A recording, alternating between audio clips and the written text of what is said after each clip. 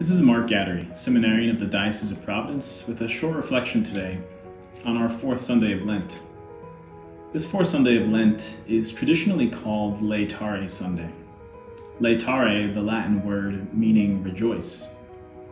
And this word is found in today's entrance antiphon, which states that in English, Rejoice, Jerusalem, and all who love her.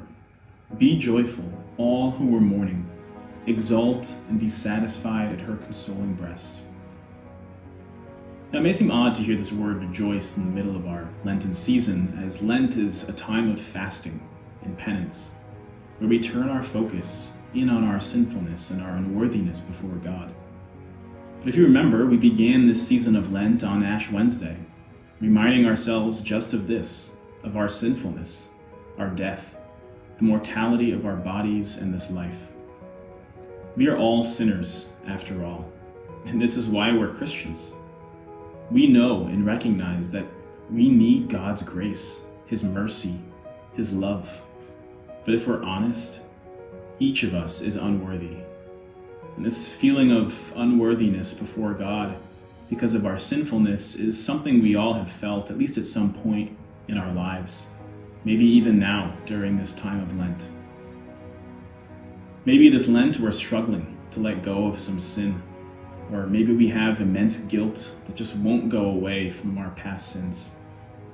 Maybe we're having trouble forgiving someone else for their sins against us.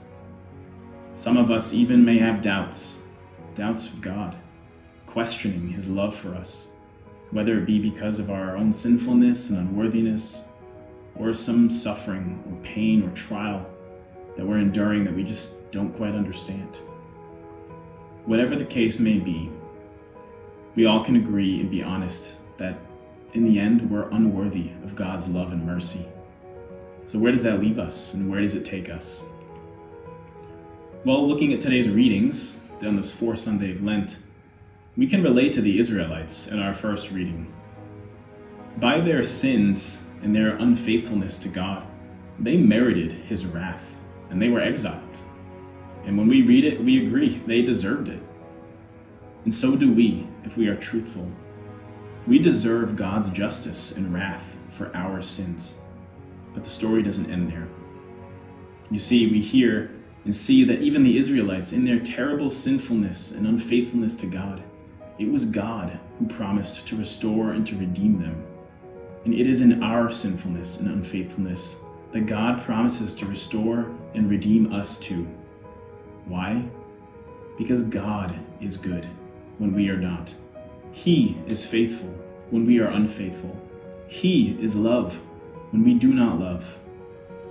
St. Paul reminds us in our second reading of the Ephesians today that it is God who is always faithful, and that even when we were dead in our transgressions and our sins, that it is God who brings us to life with Christ. It is by grace that we are saved. This grace is a complete gift from God. Our gospel today contains probably the most famous and most quoted Bible verse in history, which I'm sure you know is John 3:16. For God so loved the world that he gave his only son, so that whoever believes in him might not perish, but might have eternal life.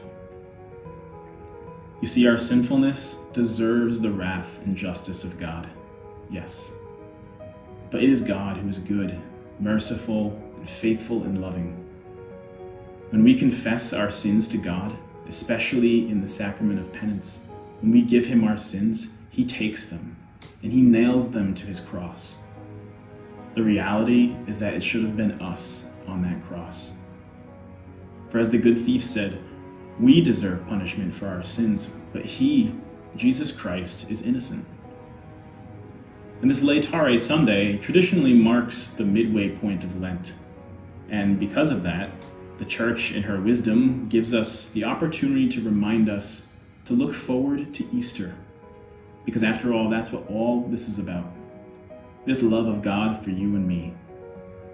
And the bad news is that in our own efforts, we will always be sinners. We will always be unworthy. But today, we are reminded to rejoice for there is good news, and it is Christ Jesus. It is He that makes us perfect and pure and beautiful and worthy in Him. Our salvation is a complete gift. We do not deserve it, nor will we ever, but that's okay, because that is what the love of God is. It's unconditional and infinite.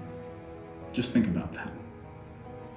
The church reminds us today that even in such a somber time of Lent, we Christians must always live in hope and joy, because the truth of Easter that we will celebrate soon is the essence of our faith.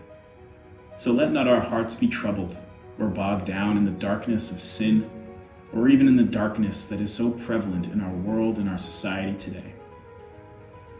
No, rather, let us look toward the light, the light of the world, our Lord and Savior Jesus Christ, who while we were still sinners died for us, so that we might live with him in eternity forever.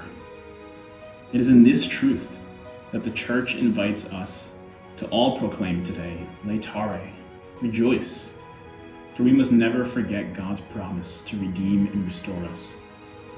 So I encourage you, if you can, to find the opportunity to make a good confession before Easter. Give your sins to Jesus.